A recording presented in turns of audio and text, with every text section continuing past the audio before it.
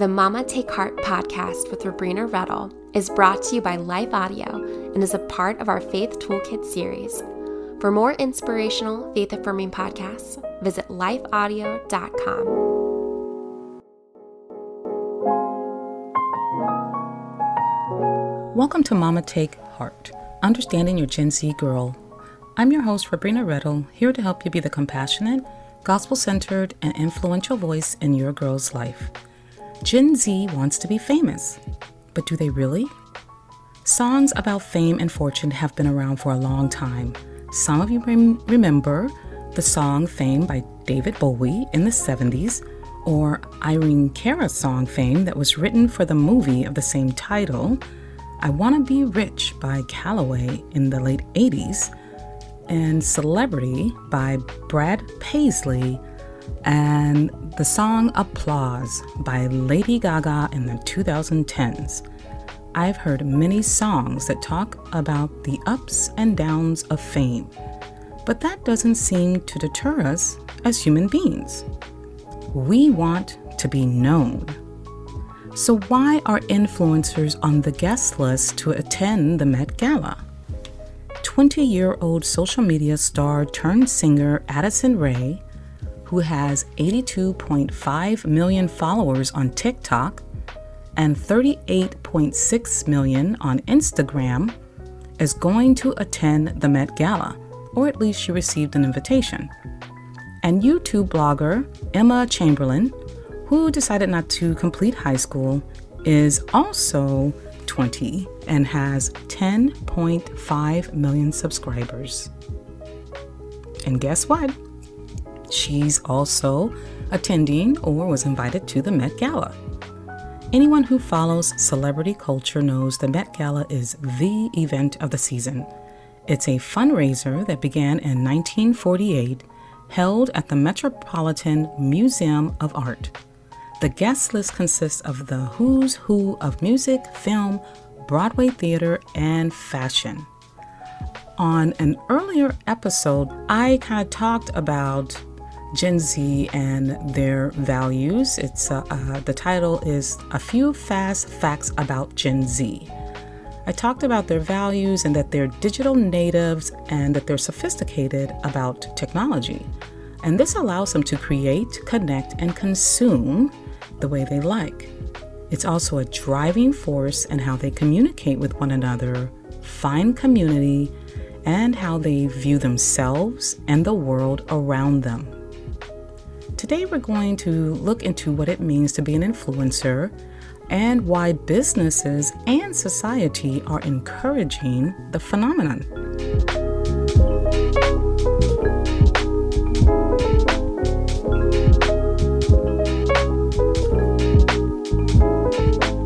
Well, Gen Z is influenced by influencers. According to YPulse, a marketing firm 60% of 13 to 18 year olds say they follow influencers on social media. Most tweens and teens would try a brand or product recommended by a YouTube content creator or Instagram, TikTok influencer over a movie or TV celebrity.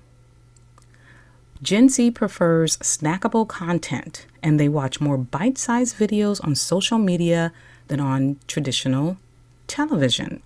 This is part of the influence of influencers.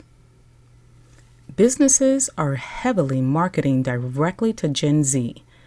If you ever watched Gilmore Girls, you know the chorus of the theme song that says, Where you lead, I will follow.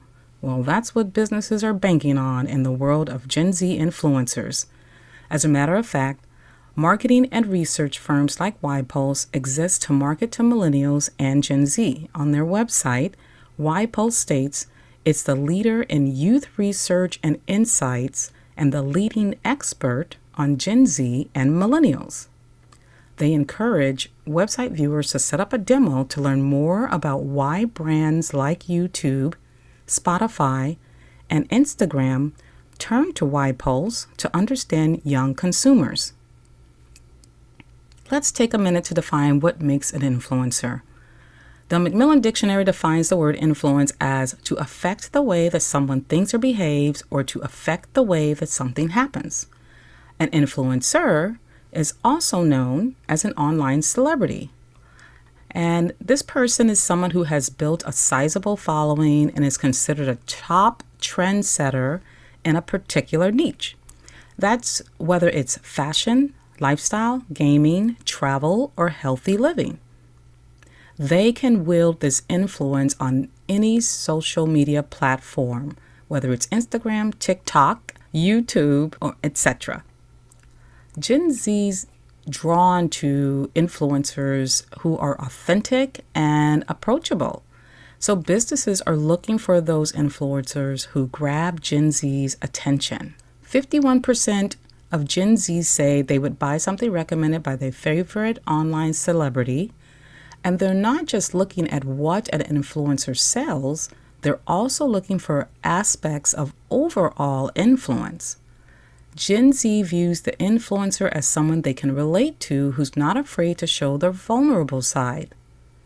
55% would rather spend the afternoon with their favorite influencer than a Hollywood celebrity. That being said, 74% are interested in seeing online celebrities in more traditional content like TV series and movies. They don't just like online celebrities, though many aspire to be one. With 72% of Gen Z saying they would like to be an online celebrity, and believe it or not, this trend isn't new.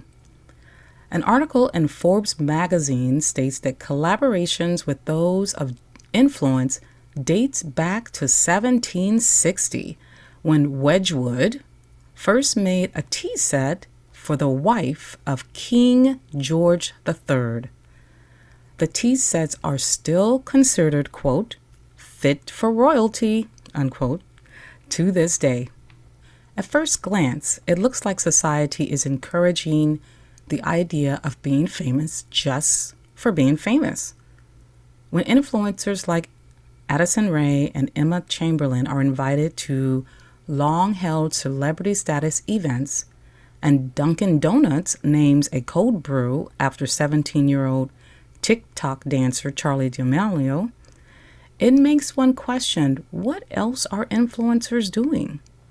While many influencers become entrepreneurs, a value that is held in high esteem by Gen Z.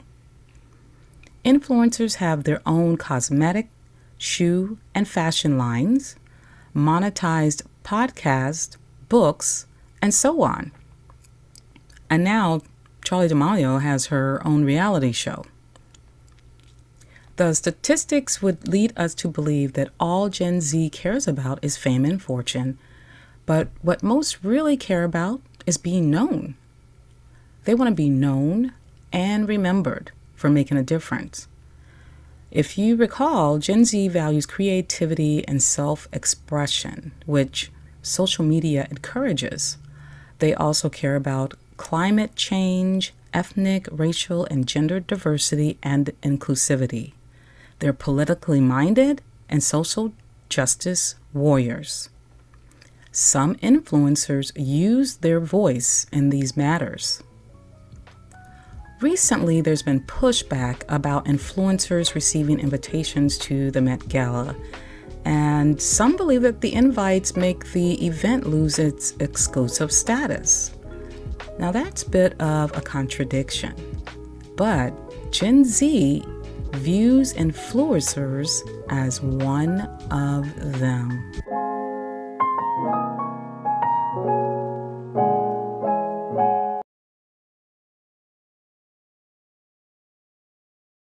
Well, when you think about it, we all want to be known. It's a desire God has placed in us. He desires to know us and gives us the desire to know Him. 1 Corinthians 3 8 tells us, But whoever loves God is known by God. Jeremiah 1 5a, Before I formed you in the womb, I knew you. Before you were born, I set you apart. And John 10 14, I am the good shepherd. I know my sheep, and my sheep know me. all verses from the New International Version. He, Jesus, is the only one who can truly fill that desire. Well, to get to know your Gen Z girl better, engage in conversation about who she follows on social media. Ask her about her favorite influencer or online celebrity. Find out what it is about the influencer that she admires. Ask her about the conversations that are happening on Twitter and Twitterverse. This is how a lot of Gen Z gets their news because they feel it's straight from the horse's mouth. Tell your girl about the people you admired when you were her age and what influenced you, whether it was how the person dressed or styled her hair, ideas or projects that you were passionate about. Ask her what she thinks about a desire to be famous. Then talk to her about what it means to know and be known by God. By keeping the lines of communication open, Mom, you can be her influencer too always pointing her to our ultimate influencer, Jesus. Check out axis.org, that's A X I S.org, for a great blog post relating to how influencers affect Gen Z. I appreciate the work that they do to help parents and anyone who works with teens have a compassionate understanding of them. You can check the show notes for other interesting articles about marketing to Gen Z. Remember, God is for you and you're not alone. With His Spirit, you are filled with courage and strength of purpose. So don't fret, Mama. Instead, take heart. Mama Take Heart is a production of Life Audio and the Salem Web Network. If you liked what you just listened to, would you take a second and leave us a rating in your favorite podcast app? It really does help more people like you find our show. This podcast is produced by me, Kelly Givens, and Stephen Sanders, with executive oversight by Stephen McGarvey. You can find more podcasts like this over at lifeaudio.com.